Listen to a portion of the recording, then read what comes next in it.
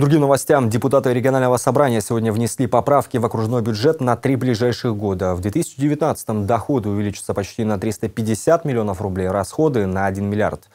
Вопрос о корректировке казны был рассмотрен на очередной сессии местного парламента. Всего же на повестке дня более 20 вопросов. О самых важных в следующем материале за личный вклад и многолетний добросовестный труд.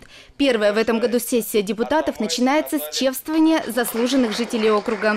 После торжественной ноты к вопросам по повестке дня.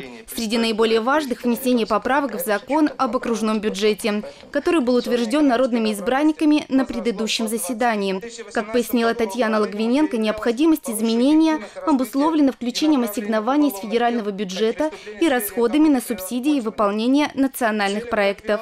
Общая сумма финансирования последних обозначена в 1 миллиард 535 миллионов рублей. Параметры окружного бюджета увеличиваются в 2019 году по доходам на 334,2 миллиона рублей и составят 18 миллиардов 194 миллиона рублей. По расходам э, увеличиваются на 1 миллиард 155 миллионов рублей и составят 20 миллиардов 699 миллионов рублей.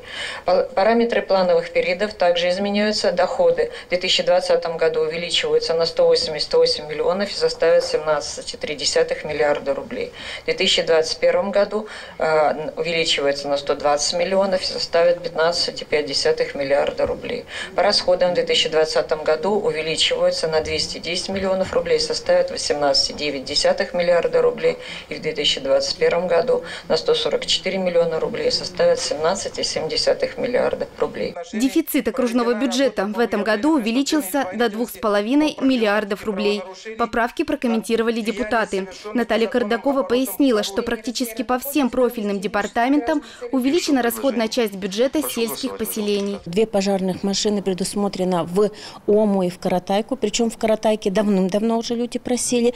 И глава муниципального образования не раз говорили об этом. В соответствии с нацпроектами у нас будет э, ремонт восьми сельских ДК. 250 миллионов заложено на Департамент а, здравоохранения, а, соцзащиты. Будет производиться ремонты, в том числе зданий амбулатории в Каратайке и больницы в Оксино. Еще один важный проект, касаемый сельчан. Депутатами принят закон о возвращении полномочий в Заполярный район по участию в сборе и транспортировке твердых бытовых отходов.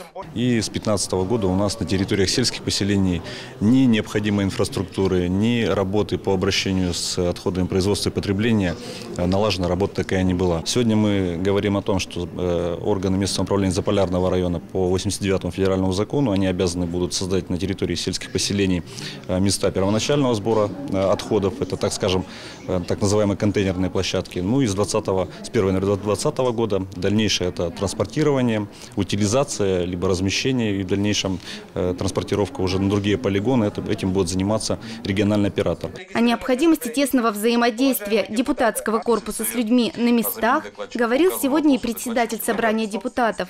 Александр Лутовинов поставил задачу перед коллегами уделять особое внимание обращениям граждан и проведению личных встреч, в том числе и за пределами города и поселка Искателей. Надо максимально объять все муниципальные образования для того, чтобы мы могли встречаться с жителями отдаленных э, муниципальных образований, потому что жители в самом деле по-настоящему ждут этих встреч, практика это показывает.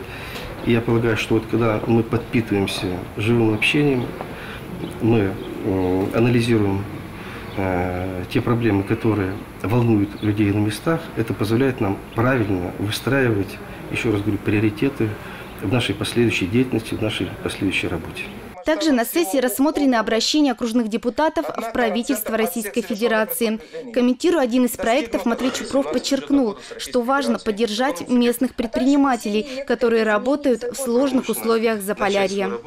Стаж их работы индивидуальными предпринимателями учитывался при расчете э, надбавок климатических, которые они смогут получать, в случае, если это наше обращение будет поддержано, когда будут работать по трудовым договорам. На сегодняшний день как бы это стаж не учитывается, и люди, которые устраиваются по трудовым договорам, они начинают заново зарабатывать климатические надбавки. Что касается законопроектов по линии Департамента здравоохранения, труда и соцзащиты, они будут доработаны на заседаниях профильных комиссий собрания депутатов. Катерина Ворончихина, Игорь Тарасевич, Владислав Носкин, телеканал «Север».